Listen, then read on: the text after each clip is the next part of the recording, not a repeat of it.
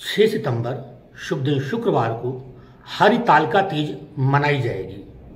भगवती पार्वती को समर्पित यह व्रत सुहागिन औरतें अपने पति की लंबी आयु के लिए सुख समृद्धि ऐश्वर्य के लिए रखती हैं तो वहीं कुंवारी कन्याएँ मन चाह वर पाने के लिए यह व्रत रखती हैं।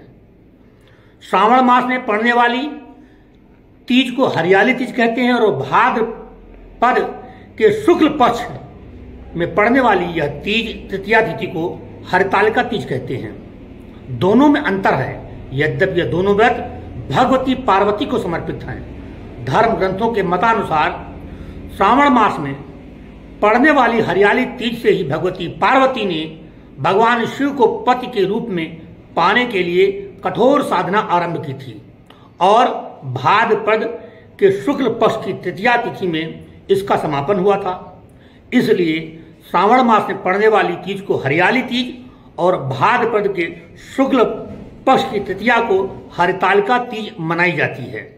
इस दिन सुहागिन औरतें, माताएँ बहनें, भगवान शिव की पूजा करते हुए माता पार्वती को सोलह श्रृंगार अर्पित करते हुए अपने मनोरथ प्रकट करती हैं और भगवती की कृपा से उन्हें फल की प्राप्ति होती है।